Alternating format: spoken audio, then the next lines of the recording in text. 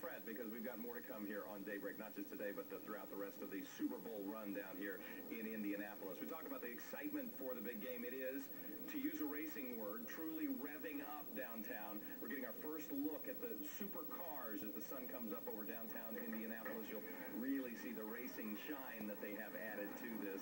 Volunteers with Indy Racing Experience spent all morning unloading, yes, all morning early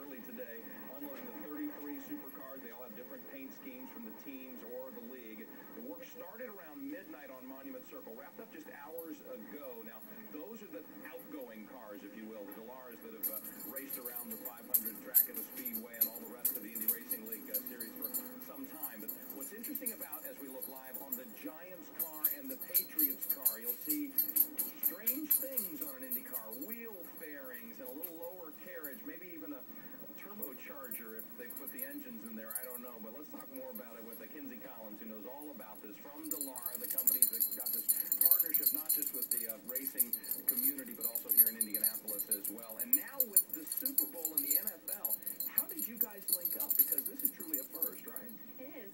Indianapolis Super Bowl, actually, the committee approached Indy Racing Experience and just tried to see if this is even a possibility.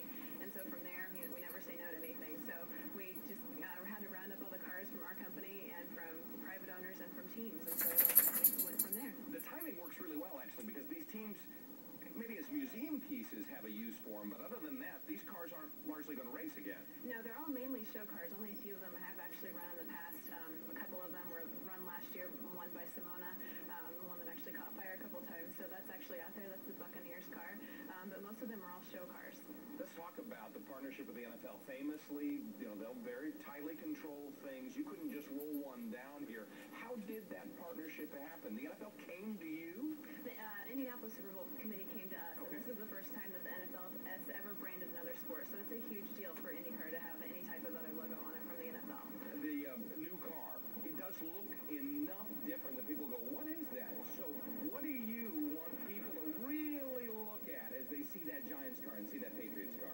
Well, the great thing is that the Super Bowl branded car right in the middle of the Patriots and the Giants is actually an older model car. Okay. So you can really see the difference between the new chassis and the old chassis. So you can really see the difference in the, the fenders behind the wheels, and you can see just how low it really sits now to the ground compared to the other cars. All right, outstanding. So again, the supercars are downtown Circle right now. Then they go out to the Super Celebration side. So from Greenfield and Richmond out west to Terre Haute, there'll be something somewhere that's got both the IndyCar feel to it and, of course, the uh, NFL feel as well. Thanks so much for being with us today. Sorry, I'm an IndyCar geek, so I get kind of excited about things like this, Laura. It was it was funny, Scott, because while you